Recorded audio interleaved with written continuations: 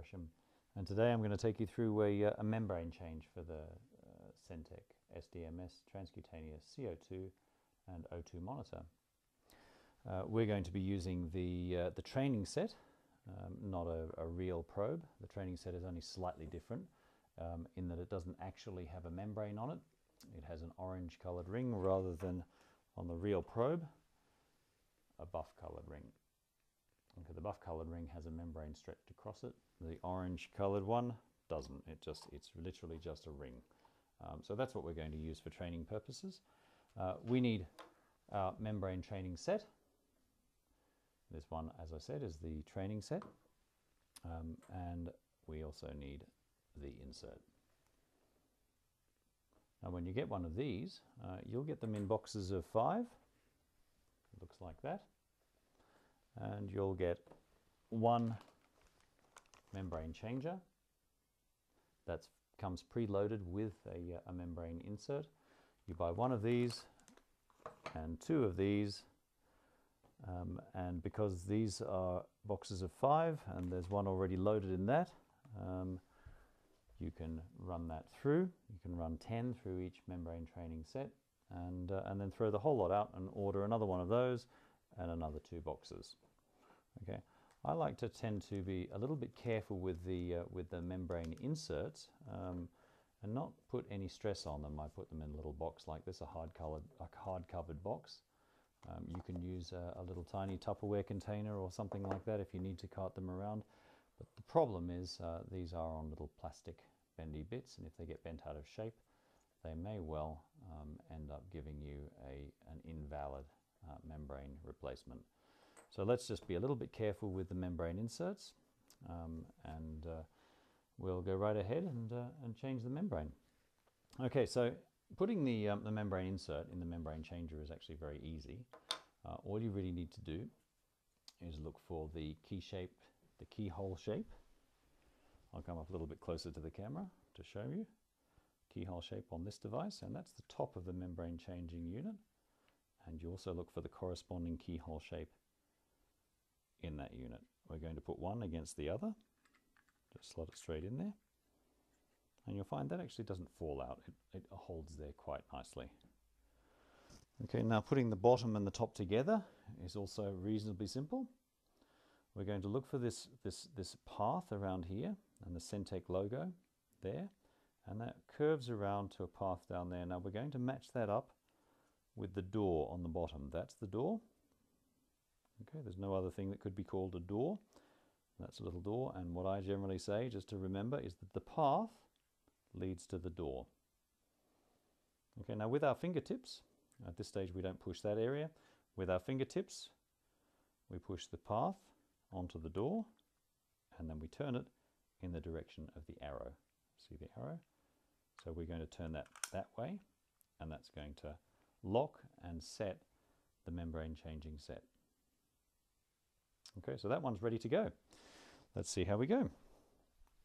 The next thing to do is to choose a solid uh, bench top, probably not a breakfast tray or a, uh, or a, a, meal trolley, um, but find a good solid lab bench top or a, a hospital bench top. Put it right on the edge. We take our probe, and uh, this one has our little dummy membrane on it. And we're going to um, put the probe into the door. Now, it really can't go any way but the way it's intended. If you try and put it upside down, it's not going to do it. Anyway, and it slides in the way it's intended. And you'll notice that it's actually cradled in there. If I give it a bit of a push, it springs right back into position and we make sure it's pushed all the way to the back wall. And it's nicely cradled. It's actually hanging on to the, uh, uh, what I like to call a little can holder shape in there. Right. Now the first click on any of these is going to be the um, removal of the old membrane. So let's go ahead and do that. There's a couple of things to keep in mind uh, with the with the membrane changing system, and that is that you can't really be too rough with it. Uh, you've got to put plenty of pressure on it. Um, and the other thing to keep in mind is that at, at a certain point during the membrane changing process, there is going to be a bead of electrolyte sitting on top of the probe. The probe needs to stay flat. We don't want to pick it up. Uh, we don't want to show people. We don't want to tip it up. We don't want to get it into the into the nicest possible and most comfortable um, position to be able to turn it either. It's a little di little difficult to turn, but we really have to get used to turning it um, while it's on the on the bench top. Okay, so ultimately it's a push and a turn, push and turn, push and turn, push and turn, and that's all we really need to remember. The push needs to be from directly above, um, and the turn needs to be while it's stationary and level on a bench top. Okay, so our first one is just a quick, we, we always say, we always like to say that we're resuscitating a patient when we do this. So we're going to put our hands directly on top of it, both hands, and I'm going to put most of my body weight on top of that. Hold it there for three seconds and let it go. Also make sure it doesn't stick to your hand if you've got slightly heady, sweaty hands like me. And then we're going to, oh actually I will, at this point I will pick it up and show you, but it's generally not a good idea to do that. So if I come a little bit closer, we can see now that that orange ring has been pulled off the membrane. And that's our first step. Now normally you wouldn't pick it up off the table at this point, but I wanted to show you. So I'm going to put it back right back on the table and I'm going to turn it. So that was our first click, our first push, and we're going to turn it.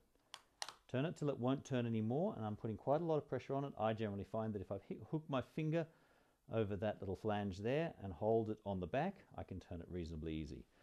The next click puts a little sponge down on top of the probe and gives it a twist to give it, give it a good clean. Okay, and then we turn. Now it's not going to turn until you click it again. So there we go. This one cracks open a little vial of electrolyte and leaves a bead on top of the probe. So it's very important at this point to give it a good push, let it go, make sure it doesn't stick to our hand, and we turn it. We've got a little bead of electrolyte on top of the probe. We've got to be a little bit careful. Okay, turn it till it doesn't turn anymore. And the next click puts the membrane on, the new membrane on. Good firm push now. Put most of your body weight on top of it from directly above. And then we can turn again. And you'll notice that we've got a brand new membrane on the probe. If you didn't notice before, um, that ring, before it was changed, didn't actually have those little pen marks on it. So we can actually tell that it's changed. Okay, now the next step with the training set, particularly, is to push it again, and we don't have to have it sitting on the bench for this. We can turn it again one more time, and the whole thing falls apart. Okay, we then take the insert out.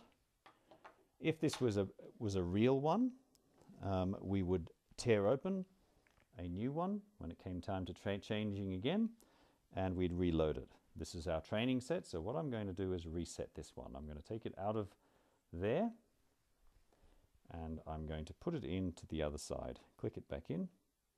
So now essentially we've made that into a brand new one. Okay, so we can do that. Keyhole shape on the keyhole shape on that side.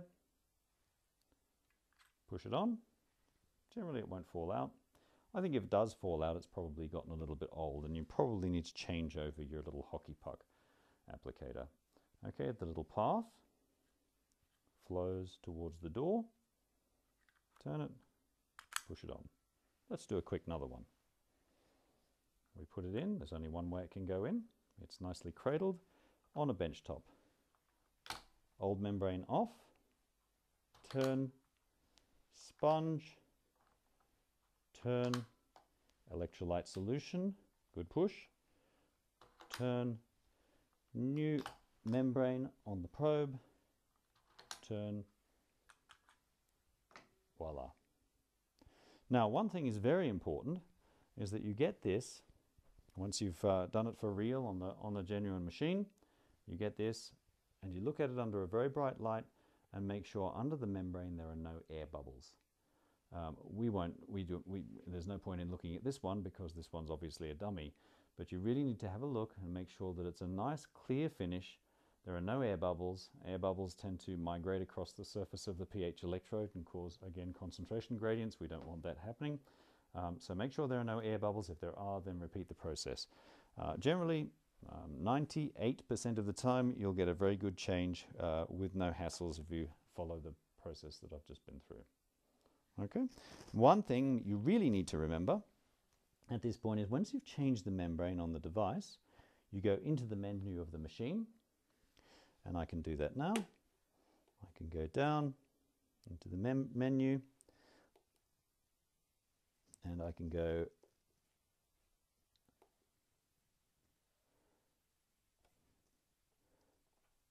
open the door and we can see the membrane change option has become a light. Hit that, select the membrane change, and we want membrane change done down the bottom. That's very important if we say the membrane change is done because that resets the clock on the machine for another 42 days or whatever you've set the membrane life to be. Um, and then when the time comes for that to be replaced, then the machine will tell you to replace it. Okay, thank you very much. I hope you've uh, found that informative and uh, I'll look forward to the next video.